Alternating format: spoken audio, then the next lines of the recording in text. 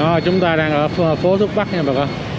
Thì à, Sài Gòn ngày hôm nay là ngày 27 tháng 11 2024 bây giờ là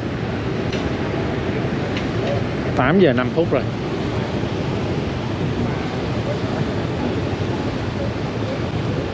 À, bà con bắt tới đây là sẽ nghe cái mùi mùi thuốc bắc. À, mấy cái túi thuốc nè mấy cái bao thuốc nè ở đây có một cái ờ, chỗ mài kim loại nữa bà con. À. mình thì gọi là mài dao kéo, nhưng mà ở đây ta gọi là mài kim loại. Cái nghề này nó có từ ở đây khoảng ờ, thập niên 80 mươi bà con.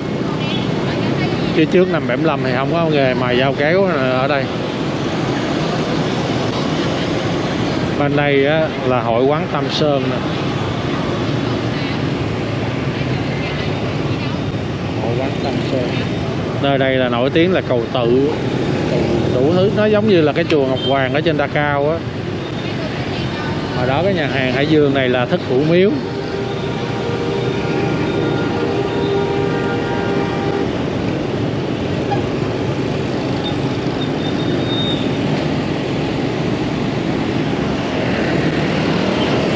Cái cà phê này là nó lấy theo cái kiểu của Nhật Bản á bà con cà phê trên giường. Hội quán Nghĩa An của người Triều Châu nè. Bên kia là hội quán Sùng Chính của người Hà khách gia.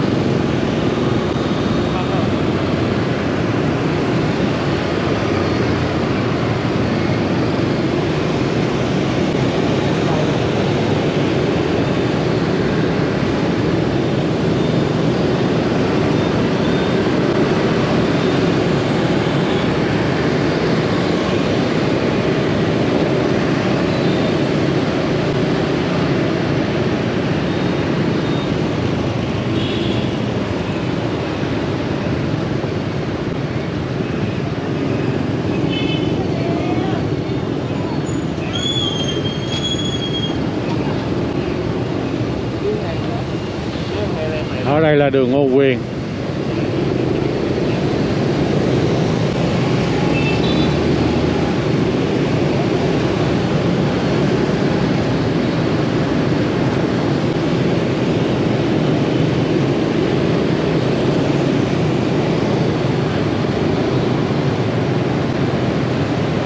Bên đây phải là đường Trần Xuân Hòa nè bà con. Hồi xưa là đường à, Châu Văn Tiếp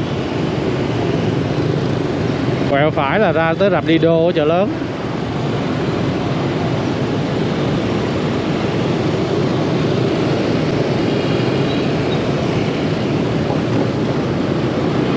Hồi đó ba Michael đi quay trên biên hòa ở trên biên hòa như cũng có một cái rạp Lido á bà con. Rồi có công viên biên hùng nè. Ba mày còn nhớ mang máng gì á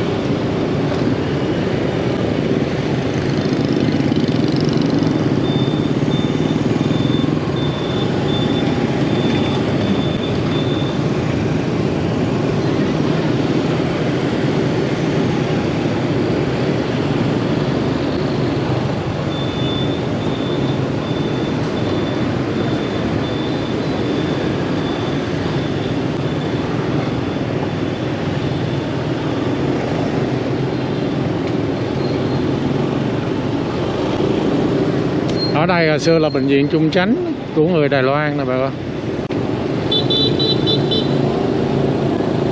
Bên kia nhà tăng lễ An Bình.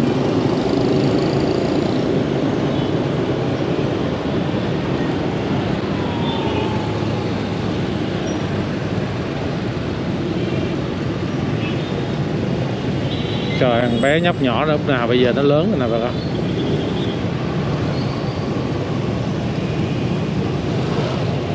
Này ông nuôi uh, mấy đứa con ta? Ba đứa nhỏ trên chiếc xe đó.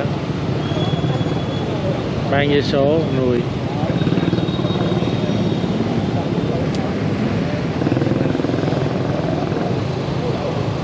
Mấy đứa nhỏ rồi bốn đứa luôn mà còn chứ không phải ba đứa nữa. Một hai ba bốn bốn đứa nhỏ trên chiếc xe nhỏ xíu vậy bà ồ vậy mà ngủ được cũng hay quá ha.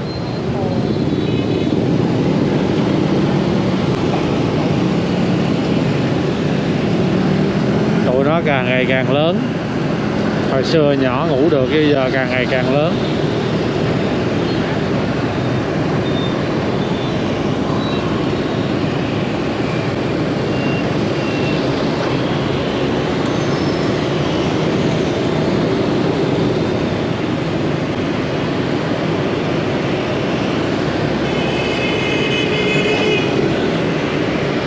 sống đời với đạo cơ tùy duyên đói cứ ăn đi mệt cũng ngủ liền. Đôi lúc á, những cái cuộc đời bà con bác thấy mảnh đời mình thấy mình thấy bất hạnh gì đó. Nhưng nhiều khi họ đang sống trong cái sự hạnh phúc đó nha bà con. Tại sao ba Michael nói vậy? Ha những đứa trẻ vô tư nó cũng đâu có biết cái nào giàu cái nào nghèo và chắc mấy đứa đó là ba mẹ còn nghĩ chắc cũng không có đi ăn học rồi ừ. còn người bán vé số thì cứ biết bán vé số, có tiền thì ăn, sang chút, có thì thôi à. nếu mà người mà ngộ mà ngộ đạo và cảm thấy cuộc đời mình không khổ thì đó là những người hạnh phúc nhất đó bà con chứ có nhiều người giàu có sống trong biệt thự này nọ chưa chắc họ hạnh phúc nha bà con. Hai mày còn nói thật.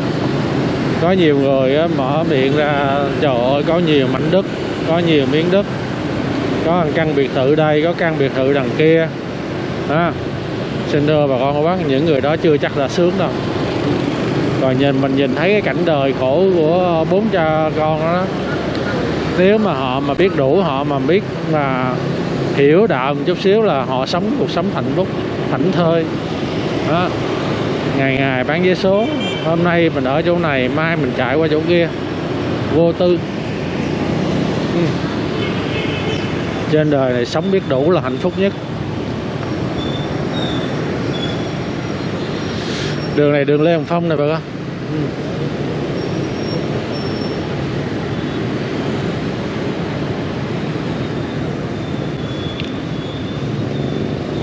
hồi xưa đường này là đường Bùi Xuất Ký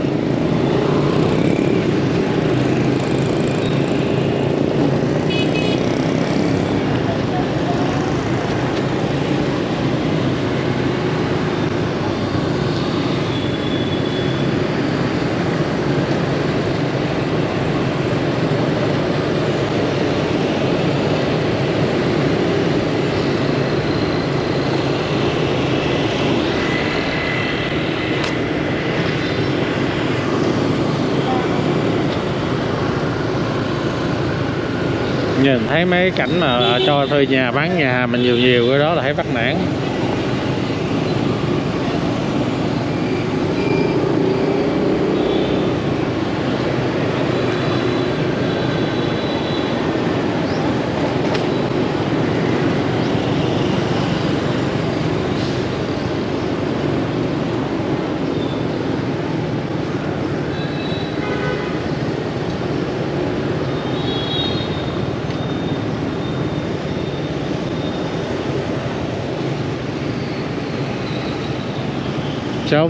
góc nhà lá.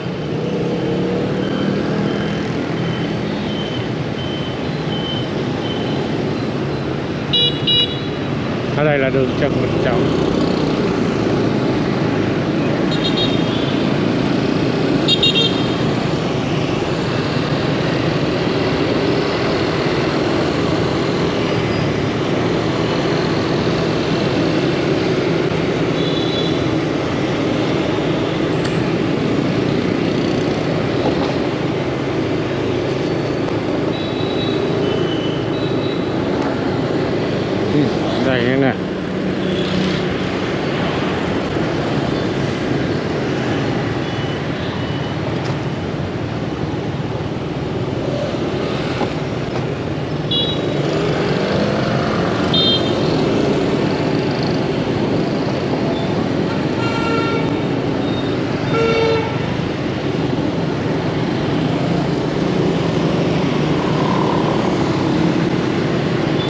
Ra tới đây bắt đầu thấy đường phố nó vắng quá ta. Giống như mấy ngày Tết vậy. Bên tay phải này, xưa là trường nữ mù nè.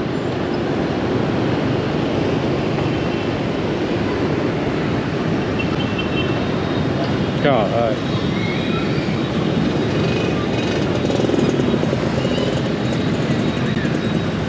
Để bà mày coi coi có tin tức gì mới à.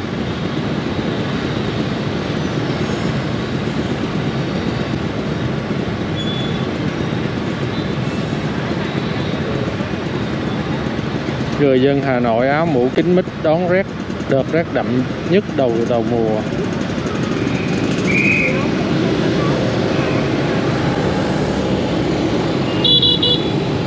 Vậy là xin thưa ngoài bà con của bác ở ngoài Hà Nội bây giờ là rét rồi đó bà con. À. Ở trong Nam này mà còn ờ, mát mát kiểu này thì ở ngoài đó là giờ là rét rung rồi đó.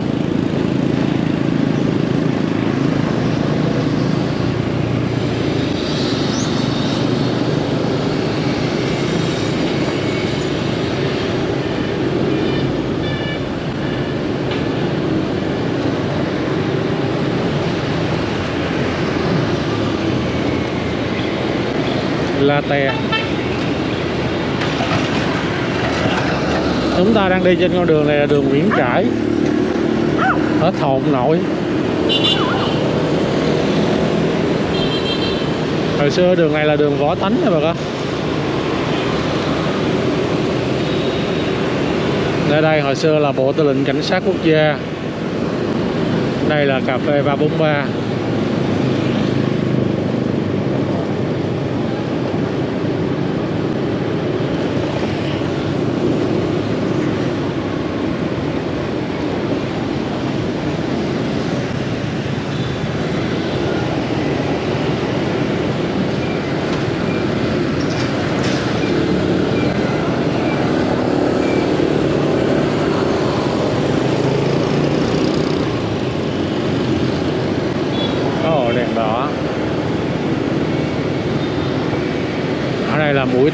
15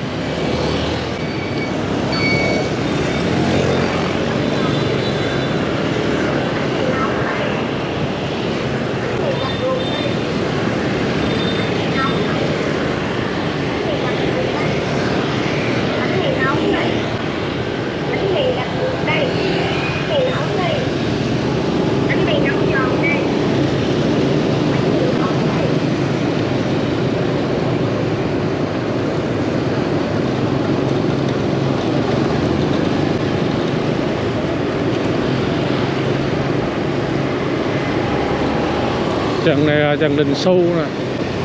Ở đây là hồi đó là đường Phát Diệm Ở đây là trường Đức Chí.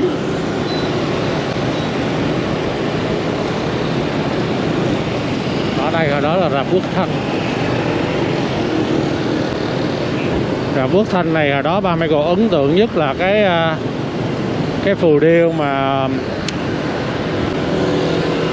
không biết phải phù điêu không hay là cái tấm hình đó cái ờ, biểu tượng của sân khấu ờ, hồi xưa đó bà con.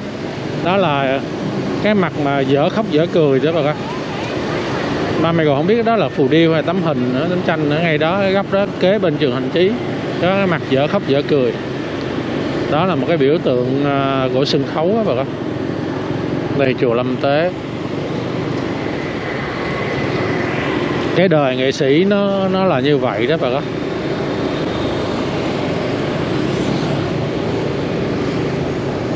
Nó dở khóc dở cười chỗ này nè. Nghệ sĩ khi mà bước chân lên sân khấu rồi thì phải nhập vai vào một cái nhân vật mà có một cái điều trớ trêu á bà con. Giả sử đi cái vai của nhân vật đó là cái vai vui vẻ. Mà cái đau lòng nhất cái mà khó khăn nhất cho một người nghệ sĩ là giả sử là vừa mới nhận một cái tin buồn gì đó của gia đình người thân. À, lòng buồn thúi ruột à, nhưng mà khi mà lên sân khấu mà nhập vai vô là phải cũng phải cười nha bà con. À, nó ngộ lắm. Đó, cái người nghệ sĩ á, họ phải gạt qua cái vấn đề riêng tư khi mà bước chân lên sân khấu rồi. Họ không còn là mình nữa bà con. À, ngoài đời cuộc sống mình có thể là mình đang buồn thúi ruột rồi đó nhưng mà nhất là những diễn viên hài đó bà con. Lên sân khấu rồi là phải chọc cười khán giả. À, là bản thân mình phải cười như thế nào làm hề như thế nào đó để cho khán giả cười dù rằng là cái lòng mình nó buồn lắm. À, rồi cái một cái điều chớ chiêu nữa. Nhiều khi á cái lòng ở bên ngoài à, cuộc sống mình ở ngoài thì nó đang vui vui vẻ lắm nhưng mà bước chân lên sân khấu nhập vai vô một cái vai nghệ thuật buồn mà chứ à, chảy nước mắt. À, bi thương sầu thảm.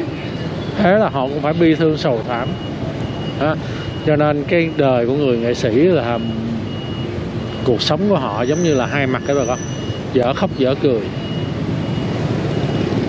Họ sống theo cái nhân vật các bà con nhưng mà ngoài đời vui mà lên sân khấu buồn thì không sao nha bà con. Nhưng mà thảm, đau khổ nhất là ở ngoài đời mà coi như là nhận được tin buồn mà cuối cùng phải lên sân khấu và diễn hài cho người ta cái này đó chua lắm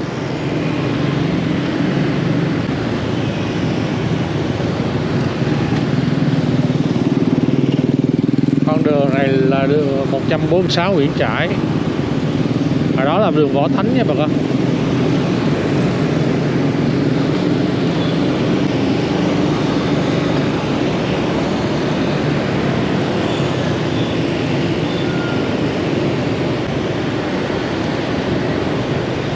Bên tay phải ba mày gò đây, hồi xưa có tiệm phở 79 nè.